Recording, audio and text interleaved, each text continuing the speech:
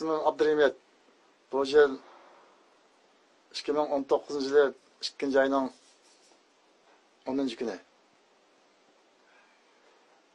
Qonun tarafidan meni gumonliq deb qaraganlik uchun e, bu yerda tekshirilish munosabati bilan turyapman hozir e, salomatligim yaxshi. E, majburlash zo'rlash bo'lmadi.